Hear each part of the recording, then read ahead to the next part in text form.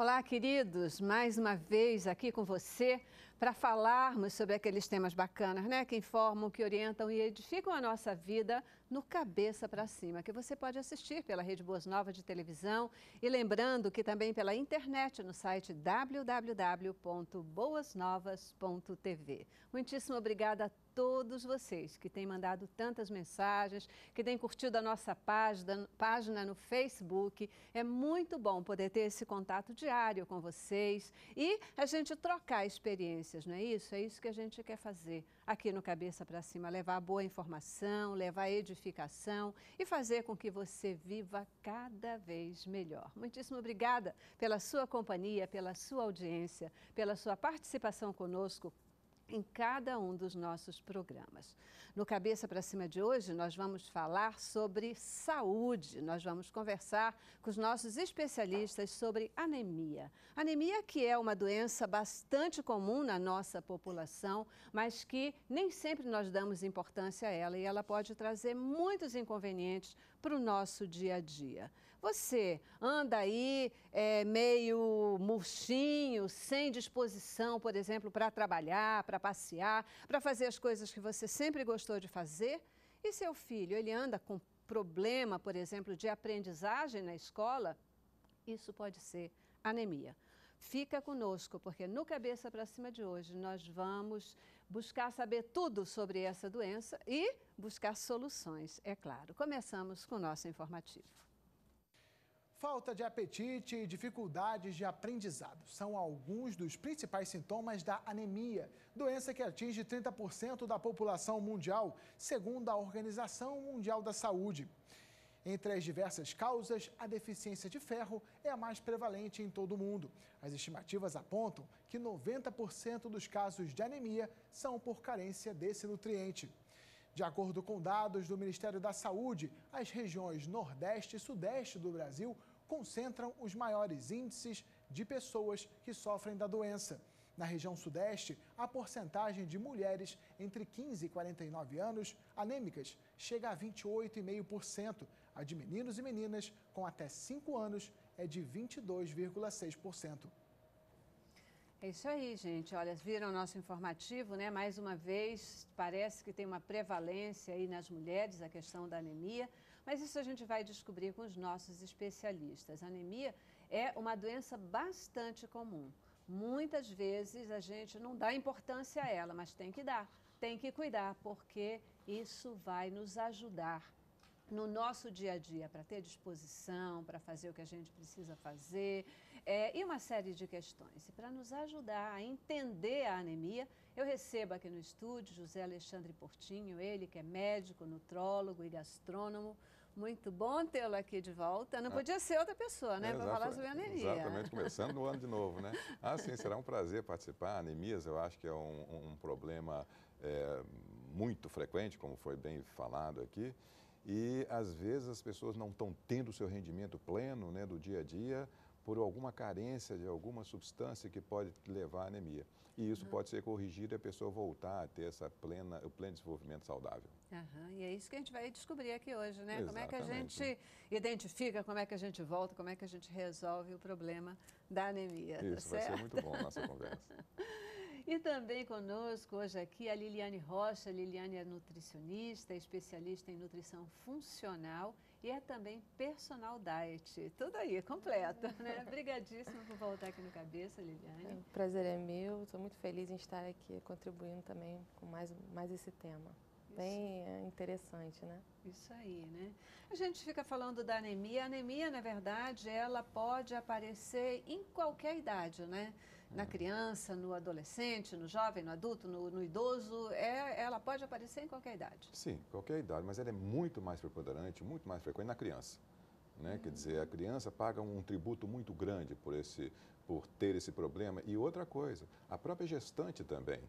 Então, no início da vida, é ali que tem a maior incidência da, da, dessa doença. E justamente quando começa a haver a formação dos tecidos, dos órgãos, da, da criança, do feto, e é que ela atinge. Para você ter uma ideia, a necessidade, como foi falado, a, a, anemia por carência de ferro, por deficiência de ferro, é a mais frequente. Uhum. E durante a gestação, por exemplo, a necessidade é cinco vezes mais de, de, de, de necessidade de absorção de ferro. E às vezes a, a, própria absorção do intestino ali de ferro não é suficiente. Uhum. Então a necessidade de suplementação, de passar uma medicação à base de ferro e outras substâncias, é imperioso, é necessário para reduzir os problemas causados pela anemia.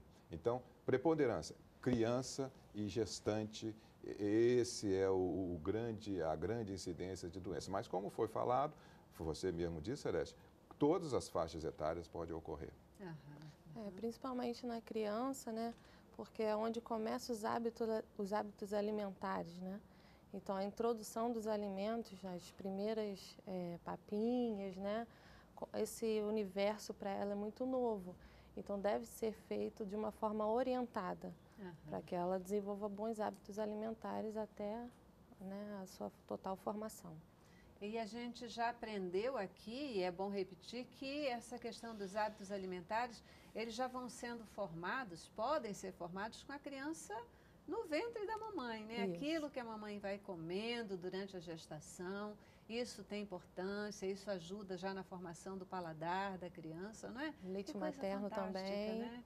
Sim. Que coisa fantástica, né? Através do leite materno também, ela, ela já recebe estímulos que auxiliam também quando ela começar a, a receber o alimento em si.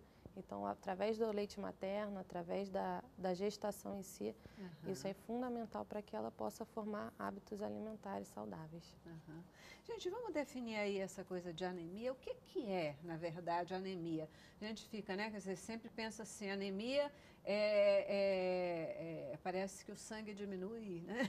o sangue fica branco. É Como é que é? Como é que é? O que é, que é essa coisa Eu, eu vejo o seguinte, a necessidade de fazer, para saber se tem anemia, tem que fazer um exame de sangue. Uhum. Né? Quer dizer, a Sim. Organização Mundial de Saúde define anemia para o homem quando o hematócrito está abaixo de 41%. Uhum. O hematócrito é a medida que é feita no sangue, no hemograma. Já a mulher, quando está abaixo de 36%. Uhum. Então, isso caracteriza anemia. Então, é, a deficiência de glóbulos é, vermelhos. Então, é, essa é a definição. A partir desse momento, nós vamos ver que cerca de 3 bilhões de pessoas no mundo têm anemia. Pena que as pessoas não fazem exame de sangue com certa frequência. Uhum. Então, por isso que é importante.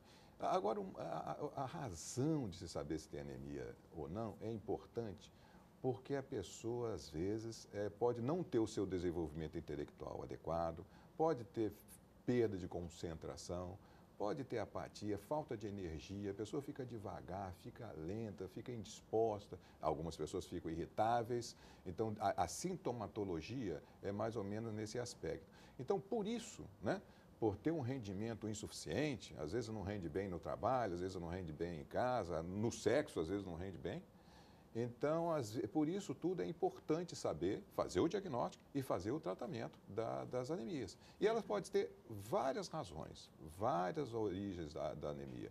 A principal é a carência de ferro, mas também pode ser falta de vitamina B12, falta de ácido fólico, tem doenças anêmicas que são de origem genética, como é o caso da talassemia, mas uhum. é pouco frequente, né? Mas, de qualquer jeito, é necessário fazer uma investigação, uma, avali uma avaliação, e para saber qual é o problema e fazer o tratamento impedindo, uh, uh, uh, mantendo a saúde. Uhum. Então, esse negócio, a gente diz, né, quer dizer, uma pessoa que tem anemia, ela fica, é, é, é, ela tem uma queda dos glóbulos vermelhos. O sangue não fica mais fraco, não diminui nem nada, né? É, é, é mas é uma queda dos glóbulos vermelhos. É, eu poderia dizer que sangue. ele fica mais fraco, fica sim, mais né? Fraco, Sem dúvida verdade. nenhuma, ele fica mais fraco, sim. E aí, a razão principal, por exemplo, no caso da anemia ferropriva, falta de ferro, é levar o oxigênio para as células. E às vezes a hemoglobina dessa molécula, dessa, dessa, dessa célula vermelha, glóbulo vermelho, às vezes não recebe oxigênio por falta de formação da, da hemoglobina, por carência de ferro. Então fica comprometido a nutrição das células de uma maneira geral. Uhum. E não só o diagnóstico é importante, mas também o acompanhamento, né? Uhum. Porque às vezes o indivíduo faz o, o diagnóstico com o médico, né? E depois ele não volta para fazer o acompanhamento dos exames. Uhum. Né? Então, é, de, é imprescindível que as pessoas voltem, retornem para fazer o acompanhamento. Uhum. E às vezes a pessoa faz, tem o problema e faz o tratamento, repete o sangue, dá normal. E aí dá normal, despreocupa, não continua o tratamento. Volta Mas isso não deve ser hábitos, feito. Né? Né? É, isso não deve ter feito porque mesmo com o hemograma normal, né, é necessário continuar a terapia por mais uns 3, 4, 5, 6 meses à frente, porque a carência nutricional desse, desses elementos, às vezes, pode perdurar mesmo com o exame normal. Uhum. Então, tem que continuar o tratamento dependendo de cada caso para poder é, é, garantir a, a, efetividade da cura da anemia. Uhum. Eu sei que você já deu algumas dicas aí, né, de, de, de da sintomatologia é, da anemia, quer dizer, o que que, que, que, que as pessoas sentem, né? Como é que a gente percebe que é, ou pode suspeitar que está com anemia, né? Vale aquele testezinho de olhar aqui, ver se isso aqui está... É. que mãe fala, faz com criança, né? Uhum. Ah, vai olhar aqui dentro do olho para ver se está branquinho é. demais. É. A criança fica, começa a ficar muito pálida, essa coisa. Esses testes valem? E quais são as outras coisas que a gente tem que ficar ligado e, de repente, já procurar um médico para dizer, opa, peraí. É. Não, eu acho que é válido. É, é válido você olhar a mucosa, ver a pessoa ficar pálida, isso tudo são sinais clínicos de que realmente a pessoa deve estar com alguma carência, né? Uhum. A principal razão de, de, de carência de, de, anemia é a perda de sangue. Uhum. Né? Então, por isso que a mulher paga um tributo muito grande, porque às vezes do período menstrual ela sangra todo mês. E algumas têm algumas doenças, patologias, mioma, pólipo, alteração no útero, que faz com que sangre um pouco mais. Uhum. E elas vão anemiando e não, não cuida. E fica uma anemia crônica. E isso leva a problemas. Outro sinal de que realmente a coisa não está indo legal é na escola, a criança. Como eu falei, a criança é preponderante, é a que tem mais problemas de anemia. Então, às vezes, o rendimento escolar não está adequado. Ela não está conseguindo prestar atenção no que está sendo falado pelo professor. É, e às vezes a, a, perda de concentração, um cochilo, uma, às vezes dorme durante a aula a criança. Então, são sinais uhum. de que a coisa não está indo legal. Uhum. Então, é necessário levar o médico, fazer um exame de sangue para ver se tem anemia, porque não falamos, é, no Nordeste, foi falado aqui, que é muito frequente, as crianças chegam até 60% das crianças ter problema de anemia. E as gestantes no Nordeste pode chegar até 70% com o governo. Você vê como é muito frequente. É claro que hoje você vai chegando ao sul, vai ficando menos frequente. O homem, em torno de 20% tem anemia. Uhum. Então, é, é, é, uma doença frequente, mas muitas vezes as pessoas não dão bola para o problema. Uhum. Ah, não, estou vivendo bem e tal e tem que estar atento a esse problema todo. Na criança pode interferir no crescimento também da criança? Sim, sim, pode interferir no crescimento, no desenvolvimento, como ele falou, na escola. A criança fica mais apática, ela não tem energia para uma criança apática, né? Você uhum. estranha logo. Uhum. Porque criança uhum. tem, né, uma agitação normal. Então pode com certeza atrapalhar no crescimento e também no desenvolvimento psicomotor, cognitivo. Uhum. É, essa justificativa é interessante, ela falou, porque, por exemplo, a falta de ferro ou a diminuição de ferro faz com que o sistema nervoso fique deficitário. Então, por quê? O ferro ele é importante no desenvolvimento da bainha de mielina dos nervos. O que é a bainha de mielina? É a bainha que fica em volta dos nervos, que vai fazer transmissão nervosa. É, a transmissão nervosa, do estímulo nervoso, é feito na parte externa do, dos nervos, nessa bainha. Uhum. Se você não se tem carência de ferro, essa bainha não é feita de maneira adequada. Além disso, o ferro é importante na produção da serotonina e da dopamina, Uau. que são neurotransmissores importantes para você se sentir bem, para eh, várias funções no organismo. Com certeza. Então, até o humor, né, doutor? Até fica o humor. alterado. Exatamente, você fica desanimado. Você faz uma festa, ninguém. A pessoa não. Tem vontade não de ir, não tem vontade de sair, não tem vontade de nada. Você, você ficar deitado. Fica, você... Encostou num lugar, já dorme. É, exatamente. A gente vive a base de serotonina. A gente tem as vibrações, né? As nossas alegrias. Quando a pessoa tem uma alegria muito grande, você mede a serotonina no sangue está altíssima. Não é mesmo? Você passa no vestibular, agora é Enem, né? Passa no Enem, a, a, a serotonina aumenta muito. Carência de ferro diminui essas, esses neurotransmissores também. Pois é, e aí faz a gente ficar aí, né, numa vida de meio lerdinha, deixa o tempo passar, não aproveita a vida, pode interferir no desenvolvimento da criança. Agora, gente, eu queria entender um pouquinho o que, que causa mesmo essa perda ou essa falta de ferro no organismo, né? Uhum. Por que, que no norte, nordeste, nordeste né, uhum. é, há uma incidência maior dessa doença, da anemia, do que no sul do país? Passa por alimentação? Passa por quê? O que, o que, que causa, o que, que leva uma pessoa, o que, que leva as crianças a terem mais anemia. É, é, é, vamos falar um pouquinho dessa questão das causas logo depois do nosso primeiro intervalo. Tá legal? Tá. Paradinho agora, mas a gente volta já já.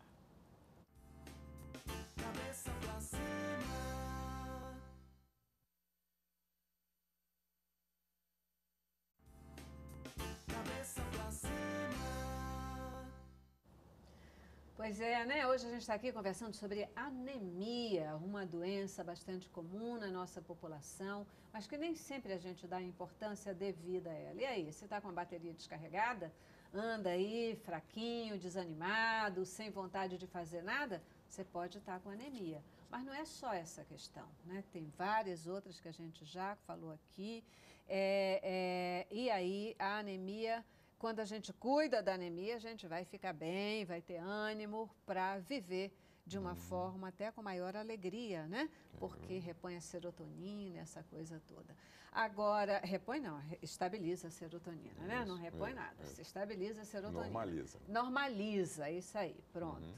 É, o que que causa essa anemia? Por que que no Nordeste, por exemplo, ela é mais forte, ela é mais é, tem mais incidência do que no sul do país. Por que isso? O que, que causa? É, vamos lá. Quando a gente fala de anemia, a gente fala principalmente, tem várias causas, mas a principal causa é alimentação inadequada. Então, é alguma carência nutricional que pode estar levando a anemia, né? Como nós falamos, carência de ferro, de vitamina B12, de ácido fólico, que são as principais. Uhum. Né? Então, no Nordeste, tem uma dificuldade de, de carência alimentar. Às vezes a alimentação não é feita de uma maneira adequada, né? a orientação, às vezes, para a alimentação adequada não é feita. Né? Às vezes a pessoa tem doenças que possam levar a, a problemas de sangramento que não são tratados. Uhum. Então, isso tudo contribui para que esse aumento de, da incidência de anemias no Nordeste. Já o Sul, não. A, a, no Sul, o poder aquisitivo é melhor, né? Existe um nível socioeducativo mais elevado, então as pessoas tendem a fazer uma alimentação mais adequada e com isso então é, tratar os problemas de saúde com mais frequência, tem mais recursos, né? Uhum. E aí por isso a incidência de, de anemia é menor. Uhum. Então é, é, essa que é a diferença básica regional aqui no nosso país. Uhum. É importante também é diferenciar, né? Porque, como ele disse, são vários fatores a falta do ferro, da vitamina B12, do ácido fólico, que é a B9. Então, através dos exames, é possível identificar. Uhum. Porque não adianta ela estar tá com uma anemia perniciosa, que é, é a diminuição da B12 no sangue. Uhum. E aí eu vou suplementar ferro, não vai adiantar. Eu preciso suplementar a B12 também. E pode causar até problema por excesso de Sim, ferro. Sim, o excesso de ferro. Já a, a megaloblástica, eu preciso suplementar o ácido fólico, é diferente. Então, o diagnóstico é imprescindível, não só do hemograma, mas também de algumas vitaminas no exame de sangue. Uhum. Ou seja, o que você está dizendo é que é, você está com anemia, não adianta começar a dizer assim, ah, não, tá bom, eu vou tomar ferro, eu vou ali na farmácia, compro o um medicamento não. que tem ferro, vou tomar, isso vai resolver. Não, não, não é por aí. Tem, tem que identificar o tipo de anemia que se tem para uhum. poder fazer a medicação certa. Né? Sem dúvida. Antes de entrar nesse, nesse pedaço, eu queria fazer um comentário assim, né? Porque a gente está falando da alimentação, da importância da alimentação, mas na verdade, assim, a questão não é, é, não comer o suficiente. Tem gente que come muito, inclusive, mas né? mas come errado. Né? E aí, esse volume, esse tipo de comida, a qualidade da alimentação que você está tendo, é que é prejudicial, que pode ser prejudicial uhum. e não trazer para o seu organismo a quantidade de nutrientes necessários, dando esse equilíbrio é, para essa situação, né? Com Quer certeza. dizer, não é uma questão só de não comer, é uma uhum. questão do que, que você está comendo. Sim. Vegetarianos têm mais, têm mais probabilidade de ter anemia, porque dizem que carne é bom para né, essa história é. de sangue, para não ter anemia, isso é verdade? É, não necessariamente. Se ele é, obtiver orientações é, de um profissional capacitado, né? Uhum. Porque o, o, vegetariano, ele consome bastante folhosos verde escuro, então, associado ao ácido ascórbico, ele, que é a vitamina C, ele absorve muito melhor aquele ferro, que é o uhum. ferro não M, né? Que é rico nos vegetais. A carne já é o ferro M, ela não precisa de nenhum auxílio para ser absorvido. Uhum. Então, não necessariamente um vegetariano vai ser um anêmico. Uhum. Ele precisa ser bem orientado. É. E não necessariamente alguém que come muita carne não vai ter anemia. É. Não. Só, só é. complementar o que ela falou da parte da, da do, do, do vegetariano. vegetariano, é o seguinte. Primeiro nós temos que saber qual é o tipo de vegetariano. Com certeza. Existem quatro tipos, né? Existe um que come leite e ovos, existe um que só come a parte de derivados do leite, mas não come ovo e, e nem, e, e nem carne. Tem um que come só o ovo, mas não come o leite, etc. E tem o vegano, né? que não come a nenhuma proteína animal, não. nem pensar em proteína animal. Aí é problema. Uhum. Então vamos ter que fazer direitinho essa situação, esse discernimento. Então, quando você tem, usa a proteína do ovo, do leite, essas coisas, você está protegido em relação à vitamina B12. Você recebe a vitamina B12 ali. Mas quando você não come nenhum uh, derivado animal, você fica com carência de B12. Uhum. Então, o vegano que não come nenhum alimento de origem animal pode ter carência de vitamina B12. Então, o vegano precisa fazer suplementação de vitamina B12, porque, como sabemos, a vitamina B12 ela é importantíssima para o raciocínio, para o sistema de desenvolvimento do sistema nervoso, para o desempenho da parte da massa, do, do próprio, é, da própria energia no corpo. Então, por quê? A vitamina B12 é de origem animal. Não existe vitamina B12 em vegetais. Uau. Nem fruta, nem legume, nem verdura, nada disso. E como sabemos, ela é muito importante e é causa de anemia.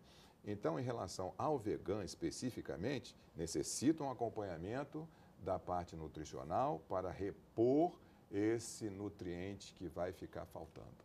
Isso me leva a pensar o seguinte, doutor Portinho, é uma mãe né, que uhum. é vegana, né, de repente engravida, a mulher engravida, essa mulher ela tem que ter muito mais cuidado então, né, porque a probabilidade, é, é, o cuidado nessa gestação tem que ser muito maior para evitar um processo anêmico. É, é por aí mesmo. Nós já sabemos que, por exemplo, a gestante recebem polivitamínicos, tem uhum. que se receber. Por uhum. quê? Por que, que é necessário passar polivitamínicos para gestantes? Porque os estudos foram feitos na década de 50, 60, evidenciaram, principalmente nos Estados Unidos, que os grupos de gestante que fazem é, uso de, de vitaminas e, e, o grupo que não faz, a diferença entre problemas na gestação é enorme. Ou seja, se a mulher na, na gestação não usa o, o, as vitaminas que são necessárias, tem muito mais problemas de desenvolvimento do neném, de complicações, aborto, prematuridade, infecções e problemas de desenvolvimento do neném, essas coisas Olha todas. Enquanto que o grupo que faz a, a, os polivitamínicos reduz associado, acentuadamente esses problemas. E nesse caso, sendo vegano, vai ter que ter uma reposição adequada da vitamina B12 na gestante para que haja uma formação adequada do bebê.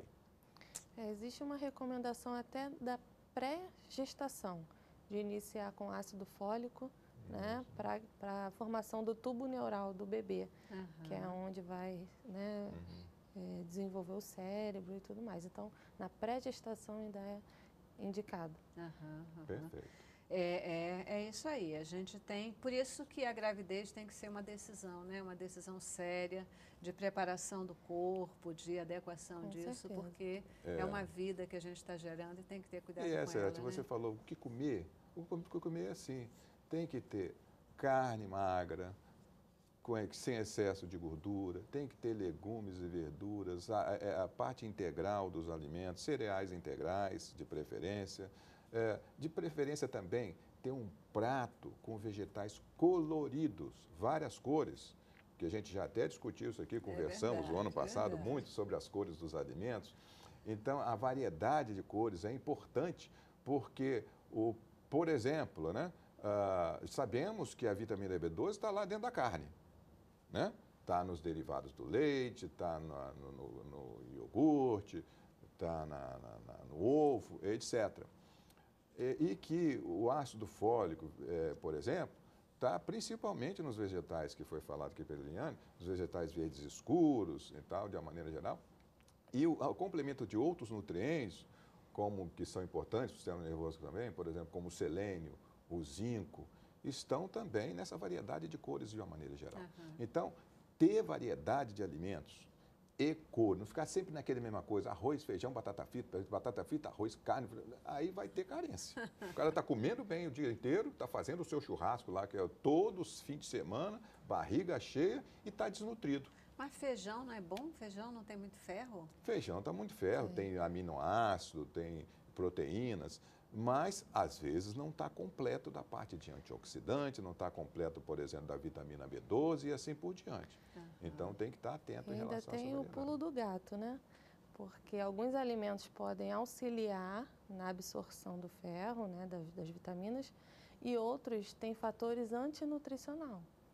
Então, eu, associando a vitamina C, o ácido ascórbico, eu consigo é, absorver melhor o ferro.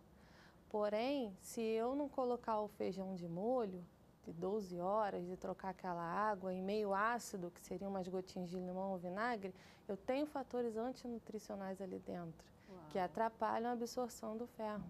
Uhum.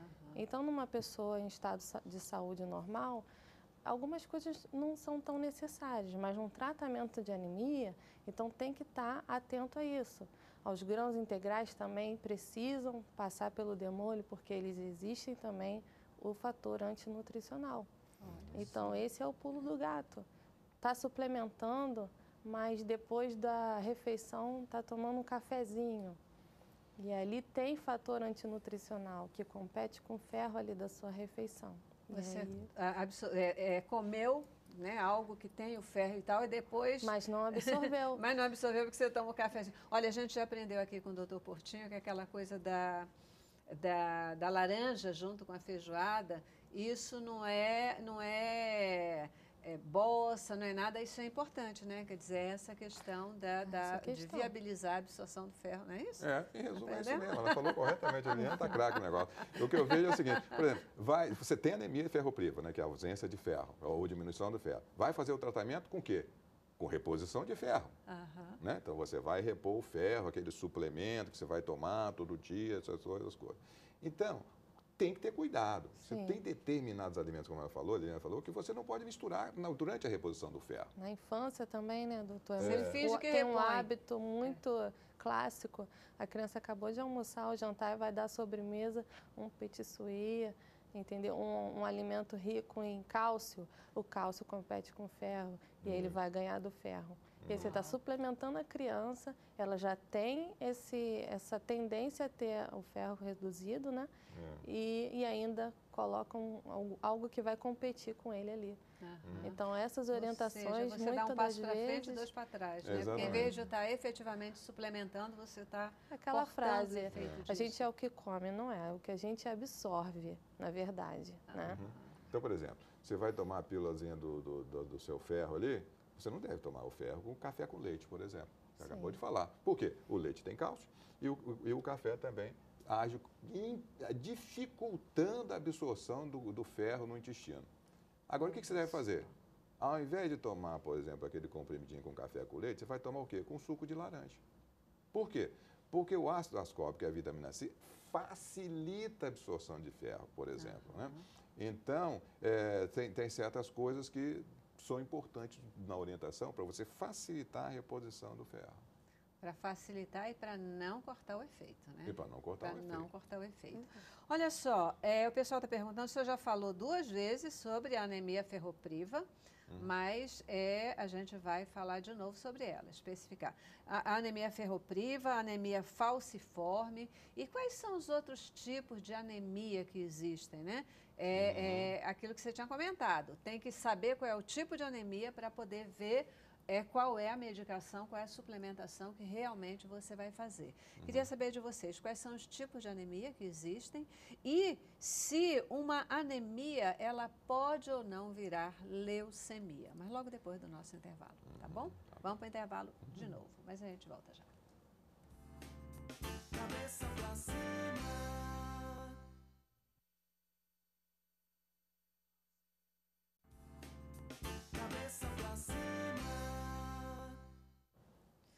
Hoje aqui conversando sobre anemia, né? A gente sempre aprende, né, gente? Impressionante como a vida é esse mover assim de aprendizagem, né? É, é, o tempo todo é, essa questão de tem coisas que a gente sabe, ouve falar, mas às vezes não de uma forma tão didática, né? Quer dizer, você, para resolver a anemia, não basta tomar ferro, você pode tomar ferro, mas ferro é ingerir ferro, né? Tomar ferro não. Essa é história diferente. Né? tomar ferro, ninguém gosta de tomar ferro e a gente não deseja para ninguém é. isso aqui. Mas também essa questão, né? Você tem que ter cuidado, porque você pode, por um lado, estar tá ingerindo é, é um, uma substância que você precisa e eliminando por outro. Então tem que ter cuidado com esse jogo aí de alimento. É. E é, tá legal, quer dizer, não é a vida, você é não o que você come, mas o que você absorve. absorve. É. esse, esse é bom, esse é bom. Gente, quais são os tipos de anemia que existem? Então, o que, que é essa. Vamos lá, a, a anemia ferropriva. Isso é pergunta do telespectador. É. É, é, é o que, que é a ferropriva? Bem, a ferropriva é carência de ferro, que nós discutimos, de é falta de ferro, diminuição da, da, de ferro no, no sangue. Uhum. Então, a, já a anemia falciforme é, é, já não tem a ver com fator nutricional, tem a ver com origem genética. Uau. Então, a anemia falciforme tem característica, é muito frequente na raça negra. Então, a origem básica, da mesma maneira que a talassemia de origem mediterrânea, do povo que mora lá no Mediterrâneo, que também é uma doença genética, não é uma doença carência nutricional, né? Uhum. é uma anemia. Uhum. Né? Uh, então, a anemia falciforme tem essa característica de ser, principalmente da raça negra, é, e ter uma alteração na formação da, da, do glóbulo vermelho. Ele fica em forma de foice. E essa formação de forma de foice, ela diminui o transporte de oxigênio para as células. Então, por isso que o indivíduo tem anemia. Então, é, é, é essa anemia chamada falciforme. E às vezes ela se rompe também, dando pequenas hemorragias lá no sangue, na, na, na corrente sanguínea, por, não, por uma instabilidade, né? por ela ter esse formato de foice. Agora, os tipos de anemia são vários tipos, né? quer dizer, é, é, é as principais nós estamos conversando aqui, que é, são essas carências da, da anemia ferropriva, com deficiência de ferro, anemia é, por deficiência de B12, por ácido fólico, mas também tem anemias relacionadas, por exemplo, às doenças crônicas.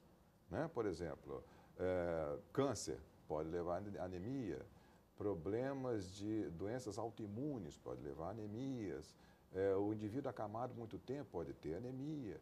O, o próprio, outra causa de anemia é o, o, próprio envelhecimento da pessoa. Quer dizer, o fato do, da pessoa ser idosa também tem uma certa frequência de 20% de anemias que tem que ser cuidado. Por isso que eu digo que ah, os extremos da vida têm que ser muito bem cuidados. Né? Quer dizer, às vezes a gente esquece de falar do idoso, mas o idoso ele é muito importante você ter uma alimentação adequada e muitas vezes ele não faz uma alimentação adequada por as, pelas próprias dificuldades de relacionamento com as pessoas ou pelo desânimo e às vezes não come o adequado e vai levar anemia e vai ter maior incidência de doenças crônicas. As, as uhum. consequências que você estava falando das anemias são justamente essas.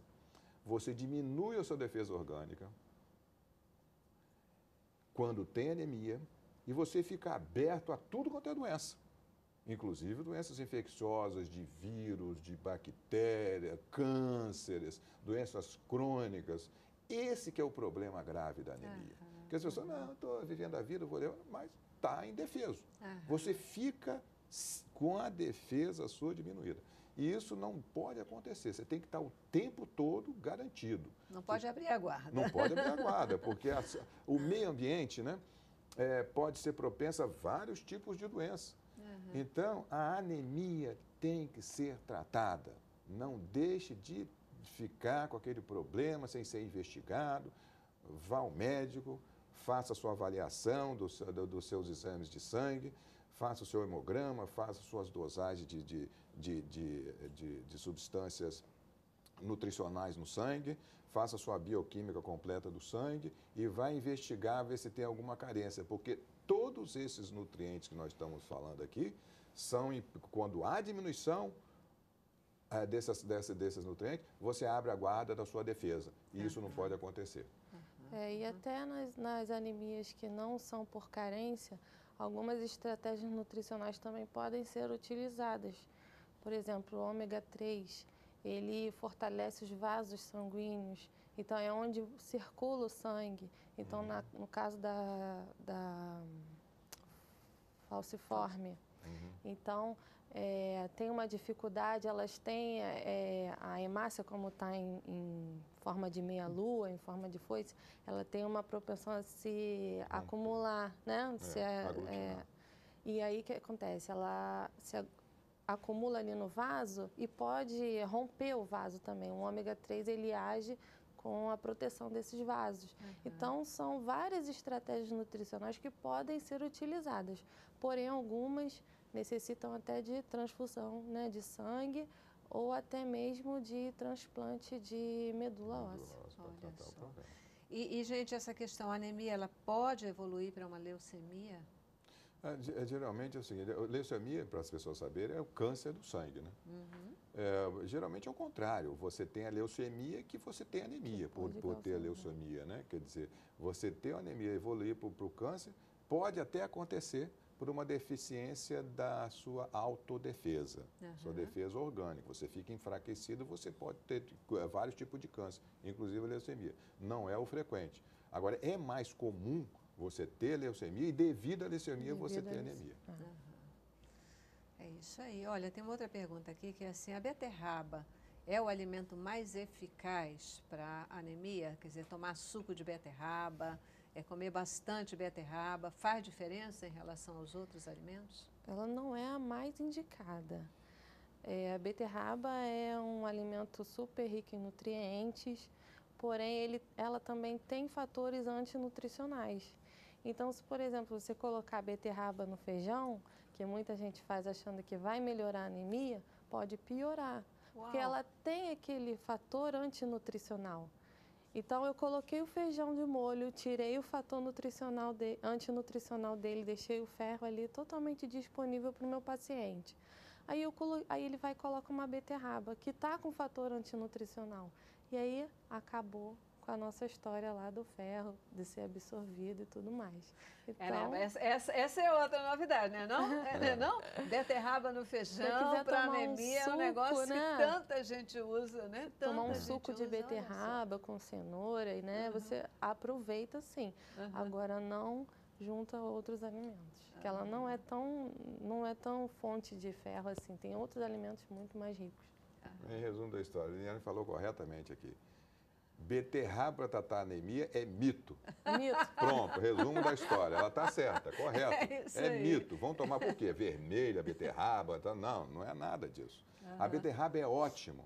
É, é uma ótima, é um ótimo alimento, mas não para tratar carência de ferro, que é a anemia que a turma fala aí, uhum. porque os fatores nutricionais que ela referiu são os fitatos e os, e os, que estão ali aglutinando e impedindo, e os fosfatos, que é, fitatos e fosfatos, que fazem a dificuldade de absorção do ferro. Uhum. Ela tem pouco ferro, um pouco de ferro, mas a, é, dentro dela também tem os fatores nutricionais, que são essas substâncias que atrapalham a absorção.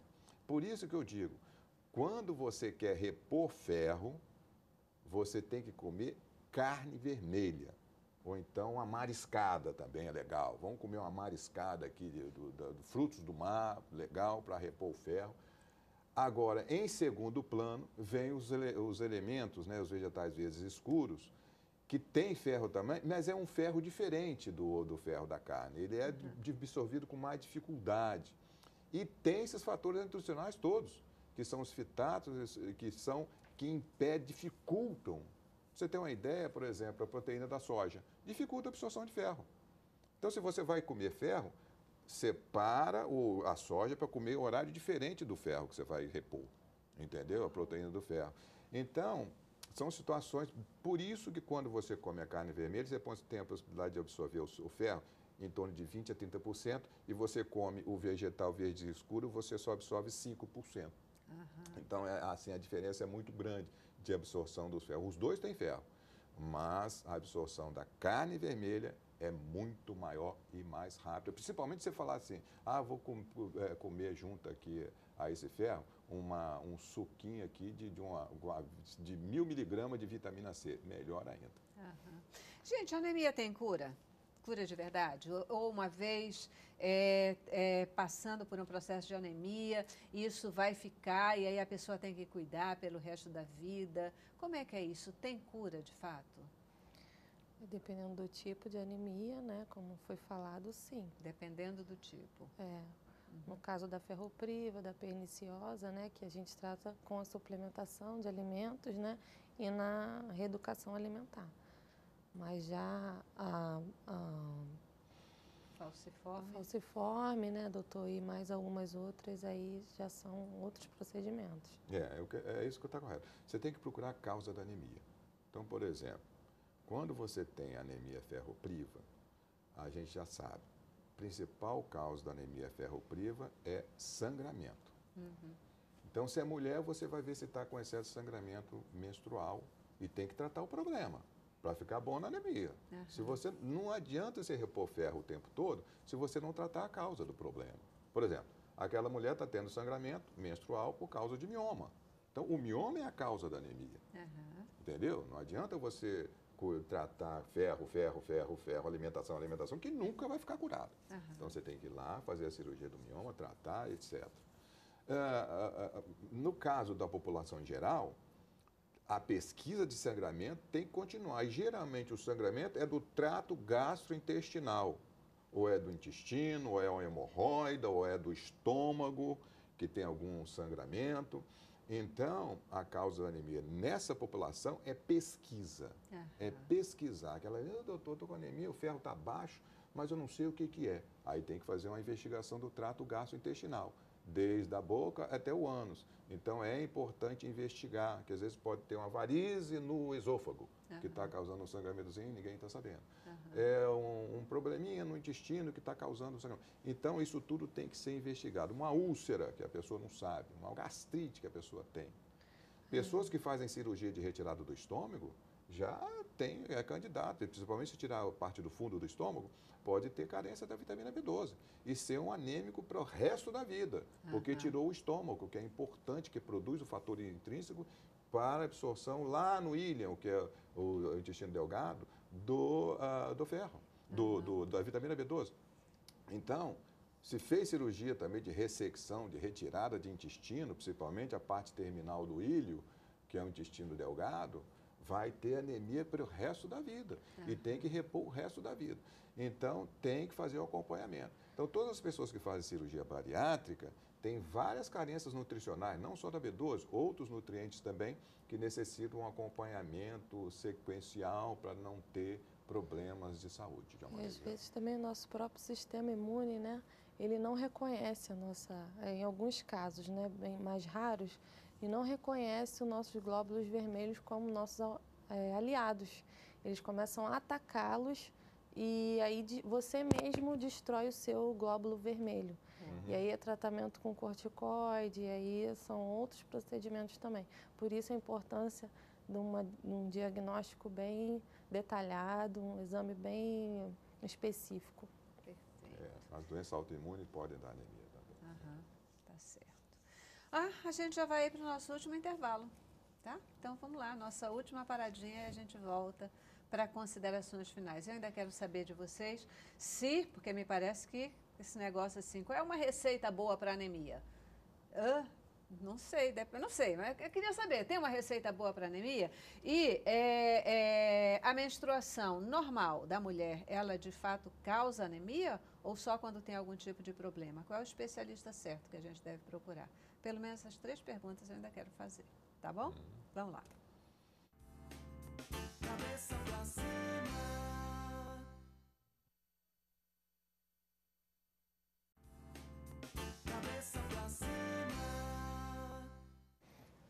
Pois é, final do programa aí, né? Estamos chegando ao final do programa.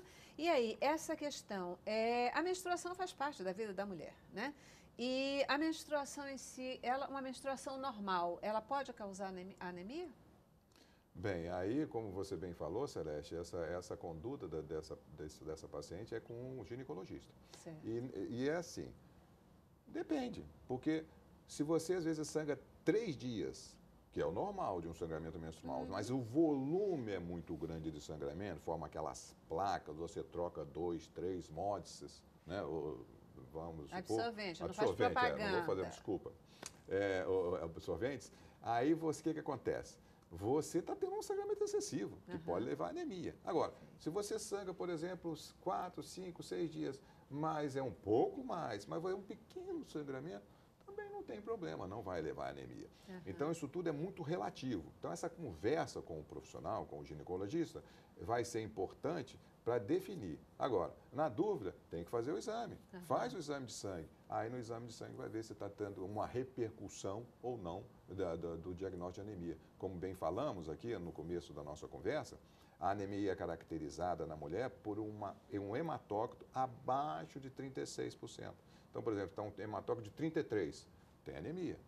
22 e assim por diante. Então, as pessoas, quando estão tá com 20, 20 e pouco de hematócrito, está branco, igual uma folha de papel. Que é aquele diagnóstico que a gente faz. Se a pessoa entra ali no consultório, a gente já vê, pelo já amor vê, de já Deus. Sabe, já, é, já, já tá faz o diagnóstico direto. Qual é o profissional que deve se procurar para poder tratar da anemia? Da anemia? Bem, vamos depende? lá. A anemia depende sim. Se é uma anemia que é corriqueira, do dia a dia, como essas que nós falamos aqui, conversamos, o próprio clínico geral, ou qualquer especialista. Agora, se realmente anemia já é uma coisa mais complicada, como anemia, é, anemia, por exemplo, a talassemia, que é doença genética, anemia que no tratamento clínico não resolve, aí tem que ir para o especialista. O especialista chama-se hematologista. É esse profissional que tem um conhecimento profundo sobre todos os aspectos das doenças que, causam, que são causadas no sangue, inclusive da anemia. Uhum. Aí tem que ser fazer um tratamento com o hematologista. Uhum, tá certo. E essa questão de receita, já que tem tanto tipo de anemia, você come uma coisa, pode estar anulando a questão do ferro, tem uma receita, afinal de contas, uhum. como é que a gente faz? É, é, como é que a gente faz para prevenir a anemia? O que é que a gente tem que comer para prevenir a anemia? Então, são um conjunto de fatores, né? Mas falando da receita, é, o suco verde é uma ótima opção. Uhum. Ele leva laranja ou limão, que é a fonte de vitamina C, mais a couve, né, que também é rica em ferro. Então, ele é uma combinação legal. Agora, uma combinação ruim, uma preparação à parmegiana, que leva queijo e ele tem cálcio, ele compete com ferro daquela refeição. Um estrogonofe também não, não é legal para quem está fazendo o tratamento. Uhum. Mas buscando o equilíbrio, né? Eu acho que se você não está com anemia e você tem uma alimentação balanceada, eu acho que dá para ir equilibrando. E até com anemia, né? Se você está fazendo a suplementação no seu dia a dia, você tem hábitos saudáveis, uma vez ou outra, eu acho que não tem problema. Eu acho que ser radical demais também, né? Não, não é o caso. Nada que radical é bom. Mas né? a reeducação alimentar, a suplementação e a boa orientação com o seu médico, seu nutricionista, com certeza você vai ter mais êxito na sua alimentação no dia a dia. É, tem uma fórmulazinha legal para essa história aí, né? Por exemplo, se no dia a dia, né, você não vai ficar contando essas combinações todas, fica uma preocupação danada. Então, de alimento com alimento, Liliane falou muito bem a respeito de você combinar o, o bife à parmegiana, que tem o cálcio, que tem, isso é importante. Mas, às vezes, você é, pode fazer o seguinte, você, em resumo da história, você tem que assim, evitar alimentos ultraprocessados e os processados que é aqueles que você compra pronto lá no supermercado. Com certeza. É, isso aí Isso é, é a primeira orientação. Primeira orientação é evitar isso. A partir daí, é, é- é aquilo que a gente conversa sempre aqui. É importante você fazer aquela variação de aumentar os alimentos integrais. Você vai comer o arroz? Dá preferência ao arroz integral. O feijão já é integral, graças a Deus. As pessoas não conseguiram, né? não conseguiram ultraprocessar o feijão, graças a Deus. Então, fe- aliás, o feijão foi eleito aí por pesquisa brasileira o melhor alimento brasileiro, o mais completo né, brasileiro, que é o feijão. Então, o feijão deve fazer parte, o arroz deve fazer parte, e aquela salada, né, que a gente pelo menos três tipos de legumes e verduras no- nas, nas principais refeições, café da manhã, ter as combinações com frutas, com iogurte, eu sei que tem essa preocupação às vezes de absorver, mas se você fizer no dia a dia, vai dar tudo legal. É, um pão integral ali, combinando, um leite desnatado de preferência. Aí, então, nessa combinação, aí no final dá tudo certo. Aí, às vezes, perguntam para mas eu não posso comer um doce? Pode. É na refeição, na, na sobremesa do almoço, que você teve ali, já comeu arroz, feijão, legumes, verduras, e aí vai comer a sua sobremesazinha ali, sem, sem ficar com preocupação ou peso na consciência. Só não pode, né? Se tiver no tratamento, tom- é, que essa sobremesa seja à base de cálcio, não é isso? Isso, É, não, aí, de leite. aí o que eu É queria outra falar é o seguinte, Cedes, no tratamento, aí a alimentação é específica. Com não, certeza, aí no o tratamento, profissional, é. Ah, o nutricionista ou o médico que estiver acompanhando sob a orientação do nutricionista ou do nu- nutrólogo vai dar as melhores combinações para tratar o mais rápido possível aquela anemia. Bacana. E no dia a dia a gente consegue com, é, exatamente dessa forma, né? O Hum. almoço, um jantar mais leve, um arroz, um feijão, que é a comida do brasileiro em si. Quando a gente começa a inventar demais, aí sai da... Aí, é, aí dá problema, É. aí com certeza o dá mais problema. importante também, eh, Celeste, é reduzir a quantidade de sal, tá? Aham. Vamos botar mais tempero para reduzir a, a, o Tempero sal. natural, né, doutor? É, exatamente, de preferência no natural. Com o açúcar certeza. reduzir a quantidade de açúcar, os Perfeito. farináceos reduzir os farináceos de maneira geral para a gente poder sobreviver bem. Bacana. Queridos, muitíssimo obrigada. Um ótimo papo aqui. Ótimo. Né? Eu acho que a gente pode, a partir daí, é, entender melhor e enfrentar melhor a questão da anemia e Com buscar resolvê-la com certeza. Tá bom? Muitíssimo obrigada pela Um prazer. presença e participação de vocês. Ok?